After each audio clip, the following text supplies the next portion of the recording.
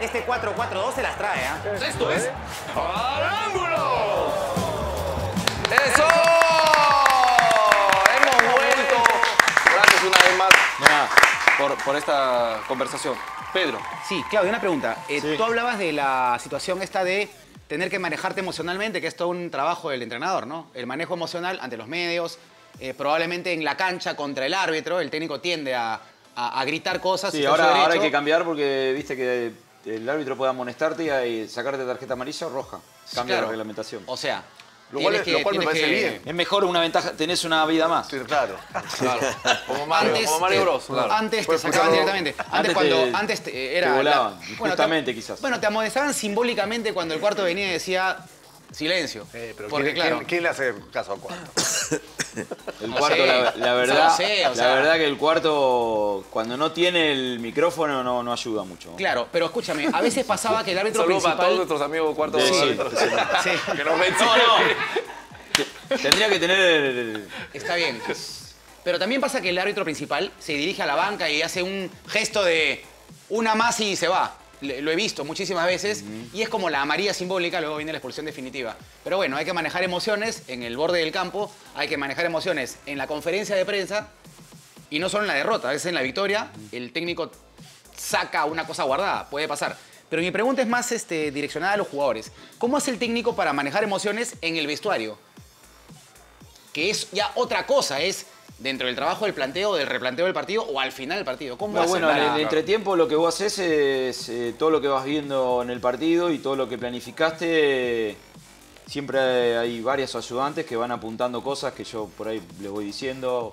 Haceme acordar de esto, haceme acordar de lo otro. O el, mi- o el mismo ayudante, que en el caso mío es muy importante porque este, él, muchas, él, él muchas veces ve cosas que yo no veo y, y me ayuda a tomar decisiones. No solamente en los cambios, sino estamos mal parados en una pelota detenida y bueno, él me dice, mirá, tendríamos que hacer este cambio. eh, y bueno, este, para eso están los ayudantes, apuntan algunas cosas que yo voy diciendo y cuando llega el, el entretiempo, vos lo que haces es darle un par de minutos a los jugadores para que se relaje, para que puedan charlar entre ellos, porque los jugadores también charlan entre ellos, y después a partir de ahí empezás a corregir en lo individual Sí. y en lo colectivo. Y también tenés que cumplir el horario porque si no también te raja. Claro, pero hay, hay una parte en la que el técnico de repente entra en quinta porque no salió bien el primer tiempo. Hablo No, bueno, no, ahí hay que. ahí, ahí, Claro, ahí sí hay que. Eso, ¿cómo, cómo es el manejo? No, bueno, ahí- la- ahí la tiene que bajar un cambio. Hay que bajar un cambio. Sí, sí. Porque capaz... Vos podés levantar la voz Sí. como para encender el estado anímico de los jugadores, pero, pero en lo que tiene que ver con cosas puntuales, precisas y cosas que vos querés corregir, eh, tenés que bajar un cambio. ¿Cuál es la peor, eh, eh, eh, el peor ímpetu que viste de un técnico en un medio tiempo? O sea, ¿a qué nivel se puede llegar de discurso encendido Bueno, para despertar al jugador? No sé, yo, yo me imagino que cuando vas perdiendo por muchos goles, tenés dos caminos, o estar, o estar debajo de la alfombra o estar muy irritado, no sé. ¿Lo que viste alguna vez? Y no sé, no, no recuerdo. Normalmente, del que yo aprendí, era un tipo que, que lo vivía mucho al partido, pero que en el momento de decir las cosas era muy preciso, muy preciso, muy inteligente. Muy inteligente. Lo cual, eso no quiere decir que yo sea inteligente, quiere decir que aprendí de uno inteligente. Pero, pero dentro, dentro de eso, dentro de eso este, para hablar de cambios, Sí. Hubo un partido para, que para mí es fundamental en este, en este cristal eh, más ganador de- del, del último mes, mes y medio, que es el partido con Concepción en Lima. Sí. Eh, que inviertes el triángulo en medio. Eh, Sí. Que, o sea, el, el triángulo de cristal era del año pasado exitosísimo, era Cagazulo en el centro, Bayón y Calcaterra, con características totalmente Interno, sí. distintas a, la- a las que tienes ahora. Y lo moviste a Calcaterra a la misma línea de Bayón y lo pusiste a Tití detrás del punta en una zona donde, donde está rindiendo mucho más. ¿Dónde empezó ese cambio? ¿En decir, acá va a jugar mejor Ortiz? ¿O en decir, tengo mejor salida con Calcaterra, lo ordena Cazulo, lo complementa Cazulo? O sea, ¿nace más de, de- querer darle solidez a la primera línea o de encontrar una solución eh, al ataque? No, las dos cosas. Nosotros necesitamos que Cazulo juegue ordenado defensivamente, pero que también tenga la, la posibilidad de, tener esas apariciones sorpresivas. Lo que tenemos que tener bien en claro es que nosotros defensivamente no nos podemos desordenar. No podemos ser un equipo que atacan 8 y defienden 2, porque a la larga o a la corta terminás pagando eso. Entonces sí, Calcaterra le da no solamente equilibrio al juego, sino que también le da una salida diferente. Y lo de Titi fue producto del esfuerzo que hizo él con, con todo el departamento médico, con, con Fernando Gilardi, que lo preparó para, para esto, para la alta competencia. Nosotros le fuimos buscando el lugar porque la forma que tenemos de plantear los partidos y de ver el fútbol, los extremos tienen que sostener a los laterales o tienen que tratar de hacerles sentir el rigor en ataque. A partir de ahí, este, Titi lo cumple, pero sentíamos que perdíamos mucho fútbol. Entonces nos pareció que el centro es el lugar más idóneo. No lo trajimos solamente para que juegue en el centro, lo trajimos también para que juegue por los costados. Pero hoy está siendo Pero un los jugador costados- fundamental. A los costados lo alejas del gol, que es su, Sí, quizás su gran pero el otro día fíjate que en Unión Española nosotros volvimos al triángulo ese que- que mencionabas vos, con la diferencia que pusimos a Pretel de eje, Cazulo a la derecha y Calcaterra a la izquierda, porque íbamos ganando 3 a 0 de visitante, 2 a 0 de visitante, donde la diferencia de gol te ayuda mucho para pasar. Dijimos, bueno, vamos a tratar de conservar el cero y seguir manteniendo el manejo del partido. Lo pusimos a la izquierda, enganchó por adentro y la clavó en el ángulo. Entonces, a veces al jugador, vos lo que- al jugador que tiene inventiva, iniciativa y, y tiene salidas diferentes, le tenés que dar cierta libertad. Lo que sí le tenés que decir, mirá, en este sector no, no perdés la pelota, porque si perdés la pelota nos agarra mal parado, estamos mal posicionados y bueno, eso a veces es un problema. Hablaste del equilibrio hace un rato. Sí. Eh, puede pasar que por la forma en la cual uno se forma, se termine enamorando en algún momento de su carrera de cierto sistema o cierta manera de jugar y después en la competencia le cueste ser autocrítico y decir, aguanta, este equipo me funciona con otro sistema, debo cambiar. ¿Suele pasar? ¿Puede- ¿Te ha pasado Sí, en tu carrera? Es, es necesario tener ese- esa forma, esa, es necesario que vos puedas modificar muchas veces cuestiones que no van con tu gusto. El gran secreto ahí es tener la convicción de transmitir.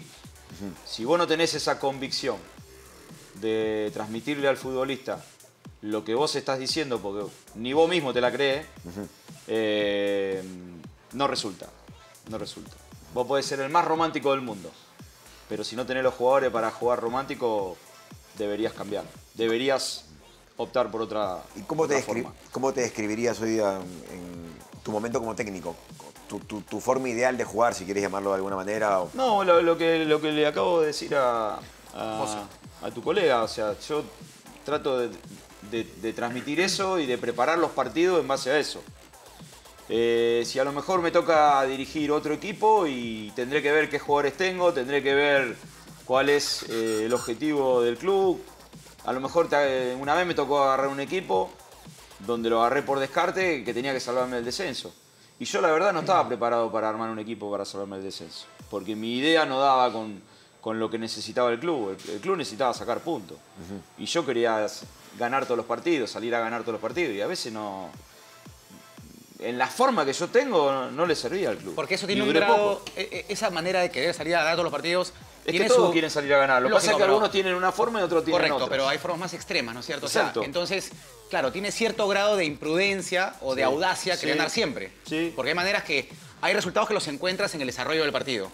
En el desarrollo eso lo vas, encuentras. Vos lo vas buscando Ah. y lo vas encontrando Pero- también. Ahora, Tampoco es cuestión de el tirarme al comienzo- precipicio. Pero- Eh, Entiendo, pero, pero- lanzarte desde el comienzo es una manera de vivir, una manera de jugar Sí. y tiene una dosis de audacia que no siempre es bueno tener, entonces. Pero mi- mira, mira qué curioso lo que dice Claudio, porque si Cristal hubiera empatado en Trujillo y, lo- y hubiera empatado con Melgar, Claro. hoy día tendría dos puntos más que le permitirían depender de sí mismo, a partir de lo que pasó con Binacional. Y los dos partidos los termina perdiendo, en mi opinión, por, por salir, por, por desesperarse por ganarlos. No, por pensar que la única era ganarlos. Eso, Mm. eso también es cierto, pero también hay que recordar la campaña del equipo.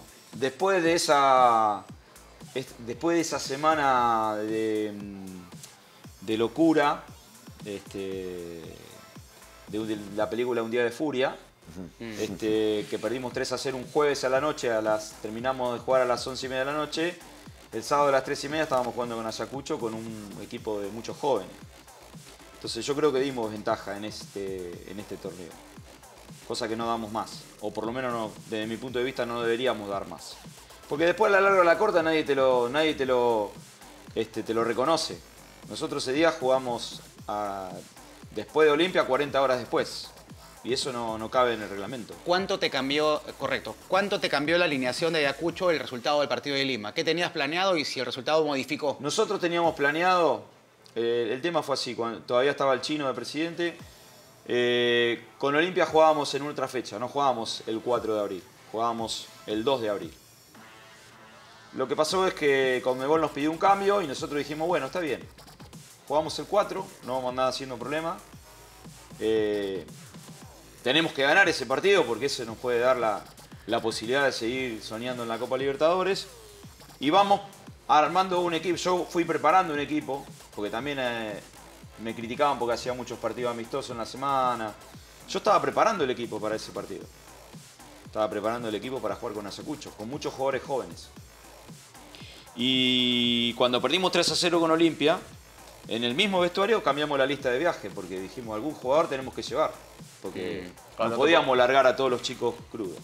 Otra goleada, no, no, no. no. No, no, no, no, no, eh, íbamos, íbamos- iba a haber un quiebre muy fuerte y nosotros ese día hicimos un gran partido en Ayacucho. Lo que pasa es que perdimos, anda a contarla esa.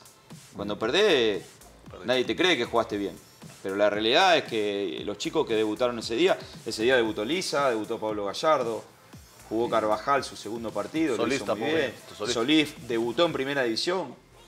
A propósito quiero felicitar a Neneca porque hizo un gran trabajo con, hace un gran trabajo con todos los arqueros porque Menos, menos con uno. porque, porque lo del Pato Álvarez no solamente es por el Pato Álvarez, sino por el trabajo diario que hace Neneca. Entonces, desde ese lugar, yo no pongo excusa. ¿eh? Yo acepté, me la como, no hay ningún problema, estoy absolutamente tranquilo por lo que hice, pero también estaría bueno que dentro del análisis pongan todo. Nosotros ahora las últimas dos fechas eh, jugamos sin tres jugadores. No pasa nada, yo contento, feliz de la vida que Ricardo haya contado con, con González, con Pretel y con Álvarez. Pero los otros clubes juegan completo y nosotros no. Y, y- Y no hay ningún problema, ¿eh? Nosotros el domingo vamos, a pesar del resultado de Binacional, nosotros vamos a ir con todo al domingo. Porque tenemos, tenemos que sacar puntos por la tabla general.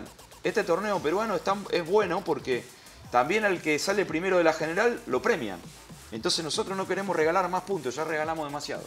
Y vamos a ir con todo el domingo. Con lo que tengamos, con todo, porque Pacheco no va a estar, Palacio está en duda, Canchita está en la selección, Álvarez está en la selección, eh, eh, Pretel está en la selección y Arce está lesionado. Entonces, y Herrera, los 40 goles. Entonces, bueno, eso también estaría bueno que se. A eso- Que, le re- que no me lo reconozcan a mí, ¿eh? Que se lo reconozcan a los jugadores. a, a eso quería llegar, profe, porque yo he insistido muchísimo en ese tema, en Herrera. Yo invoco a Herrera a cada rato. Porque para mí 42 Sí, 40 goles... No, o sea, suplir eso y a, y a eso quería llegar, porque está bien, no es el mismo caso, pero usted llega y, y ya sabía, obviamente, que Costa no estaba. Sí. ¿Cuál es el ejercicio mental para decir, bueno, ahora cómo hago para suplir a Costa? Porque a veces a un jugador, y lo hemos conversado aquí, no lo puede suplir con otro, sino que tal vez tiene que dividir sus tareas en otros dos jugadores o quizás más. ¿Cómo hizo ese ejercicio? No, bueno, el ejercicio es porque hay una, hay una línea de sucesión que, que Pacheco no es Costa, todavía le falta ser Costa y, Gómez tampoco y Lisa tampoco, pero estamos trabajando para que sean jugadores importantes. Y la verdad que yo en ese sentido estoy contento. Eh, yo particularmente, eh, no digo que no lo extraño a Costa porque no lo tuve, no sé. Lo que sí sé es lo que hizo en el Cristal y lo hizo muy bien. Pero básicamente eh, yo tengo variantes, tengo opciones. Estoy contento con la contratación de González, estoy contento con, el equipo que tengo. La verdad que eh, los jugadores eh, que, que pertenecen a este plantel se van, se van sacando y se van poniendo. Lo de Gianfranco Chávez es muy bueno, es muy bueno. Es un chico que apenas tiene eh, 20 años y tiene un futuro enorme. Y no tiene, no tiene una altura, muy- no tiene una altura que, que a lo mejor le podría permitir, no sé, eh, no, no tiene un metro ochenta y cuatro. Eh, Tiene un metro ochenta y, y él hace todo lo posible para, para, para ser un- el, el jugador que es. Y, Rebo es un, es un gran competidor y empezó él y bueno, hoy le toca a él y están ahí. Edison Chávez y Madrid lo mismo. Este, el, día que lo saqué a Edison Chávez en Unión Española me dolió mucho sacarlo. Porque en Paraguay hizo un gran partido, él de 4 y Madrid de 3. Porque ese día Céspedes no pudo jugar porque estaba con una molestia. Entonces, eso es lo que yo, lo que a mí me gusta más de este plantel es eso, que, que son muy competitivos, muy. Es- están permanentemente sacándose y poniéndose el uno con el otro, y eso está bueno. ¿Viene Hay- alguien más? ¿Viene alguien para reemplazar, eh, para suplir la, la Mirá, lo hacer dos cambios en la lista de la Copa ahora. Sí, hicimos dos cambios ahora, sacamos tres jugadores y pusimos tres chicos. Eh, Ah, por ejemplo, Lisa esto- no estaba en la lista. Ah, ok. Antes Y de los sacamos partidos. a tres chicos, sí. Ok. Pero ahora pueden hacer dos más. Sí, sí, sí. Pero bueno, eh, la, re- la pregunta que me, hici- la que me hiciste vos, y bueno, primero tenemos que esperar a terminar este campeonato, el local, Sí. esperar que abra el libro de pase y ver cuáles son las opciones que manejamos. ¿Y los que están a préstamo pueden volver? Está, hay una cláusula. Sí, de- sí, sí, Hay algunas posibilidades, sí, sí, estamos observando eso. La verdad, la verdad, no hemos tenido tiempo de, de juntarnos con Coté y con Alfonso, porque Coté hace poco asumió y en estos días nos vamos a juntar para empezar a hablar de eso, porque es importante ya que él eh, pueda ir viendo eh, posibilidades y nos pueda ofrecer a nosotros algunas alternativas. Un punta quisieras. Quisieras que Un llegue un nueve, punta. sí. Un nueve, sí. ¿Tienen a, quiénes, ¿A quiénes tienen prestados ahorita? Azúcar, tenemos de número 9 Azúcar. El bueno. eh, sí. Bueno, tenemos por izquierda Palacio, Sandoval, Sí, señora Oliva Oliva. de volante. Tenemos muchos jugadores prestados. Me encanta la manera en la que Diego Revaliati se refiere a cada uno de nosotros con respecto al tema futbolístico. Sí, sí, sí. Eh, Salvo, eh, salvo Chávarri, ustedes tres son de madera. enalteciendo, enalteciendo claramente sus cualidades, ¿no? Eh, pero bueno, me Como- tengo que ir a como una pausa- sobre todo, Como, como compañero. compañero, sobre No, todo. buenos amigos. Me tengo que ir a una pausa publicitaria y después me está llamando los lunes para que tapen tu equipo. Me tengo que ir a una pausa publicitaria, no sin antes, no sin antes, una vez más, bueno, felicitar por el mérito que tiene el hecho de que sin, sin que el profesor Gareca todavía haya lanzado la lista de No, es, convocados. que los locales ya la lanzó. Eh, claro, No, no, ha citado yo, a, yo la, la- la- la dije porque, porque salió con placa roja Sí, los 5 o 6 jugadores del torneo seis, local. sí, 6 tal jugadores del torneo local. Entonces, Tal cual. Y aparte ya mañana no vienen al entrenamiento, así que Sí, sí, no, fue sí. primicia de este programa. Sí, bien, bien. Y, y no, lo decía usted. Yo lo dije, lo dije en este programa, este, enalteciendo el trabajo del profe Neneca Acevedo, Sí. a quien esperamos tener algún día en este programa eh, como invitado, que nos cuente todas las anécdotas Que tiene. Que venga, claro, claro, Claro. claro. Que venga, ¿Con quién podría venir? Con la esposa, con su hija. claro. Sí. Su hija periodista también. Claro. Así que. Que maneja las redes, ¿no? Podría, también, también. Así que para el profe un fuerte abrazo y para el pato también. Este, sabemos el gran trabajo que ha hecho y para, Sí, todos, claro. para todos los convocados. de- Gran esfuerzo. De Cristal. Nos vamos a una pausa publicitaria y ya regresamos. Tenemos muchísimo más. Esto es Al Ángulo, no se vayan a ir. ¿ah? Este 4-4-2 se las trae, ¿ah? Esto es Al Ángulo.